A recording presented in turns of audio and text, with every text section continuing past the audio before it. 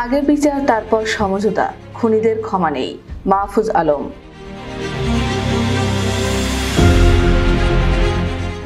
গণহত্যা নিয়ে যাদের বিন্দুমাত্র অনুশোচনা নেই, তাদের সঙ্গে কোনো রিকনসিলিয়েশন হবে না বলে জানিয়েছেন অন্তর্বর্তী সরকারের প্রধান উপদেষ্টার বিশেষ সহকারী মাহফুজ আলম। তিনি বলেছেন, আগে বিচার, তারপর সমঝোতা। খুনিদের ক্ষমা নেই।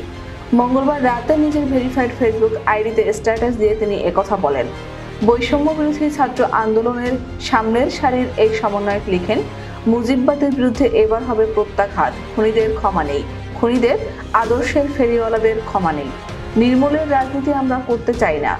কিন্তু আমাদের রক্ত পান করতে যারা স্লোগান দেবে, রাজনীতি করবে সে সকল মুজিববাদীদের কোনোভাবেই ক্ষমা করা হবে না।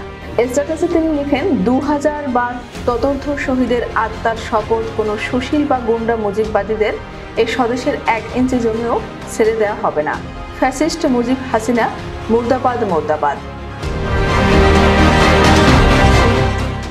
এর আগে মঙ্গলবার দুপুরে ঢাকার চিফ মেট্রোপলিটন ম্যাজিস্ট্রেট আদালতের সামনে বিক্ষোভ করেছেন আওয়ামী লীগপন্থী আইনজীবীরা।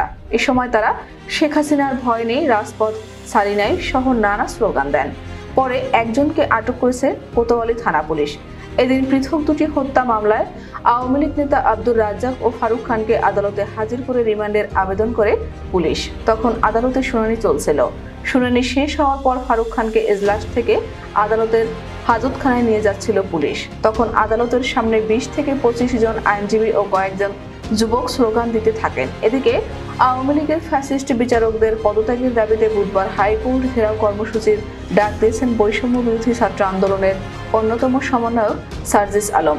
সকাল এগারোটায় রাজু ভাস্কর্যে জড়ো হয়ে সেখান থেকে একসাথে হাইকোর্ট অভিমুখে যাত্রার কথা বলেন তিনি।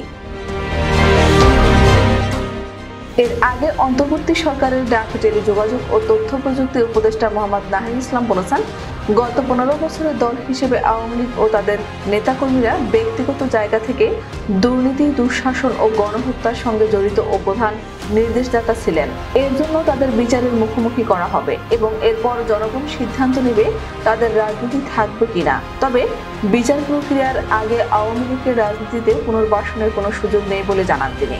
ডয়সেভেলের সঙ্গে একান্ত সাক্ষাৎকারে তিনি এসব কথা বলেন। সরকারের উপদেষ্টা থেকে নিরপেক্ষতা প্রসঙ্গে এক প্রশ্নে নাহিদ বলেন, ফ্যাসিজমের বিরুদ্ধে এই অভ্যুত্থান করেছে এবং এই অভ্যুত্থানের অঙ্গীকারকে বাস্তবায়নের জন্য আমরা সরকারি আছে। উদ্দেশ্য এবং লক্ষ্য কিন্তু একই আছে যে আমরা এই ফ্যাসিস্ট কাঠামোকে বিলোপ করে নতুন বাংলাদেশ গড়তে চাই, যেখানে সামাজিক ন্যায়, বিচার ও গণতন্ত্র নিশ্চিত থাকবে।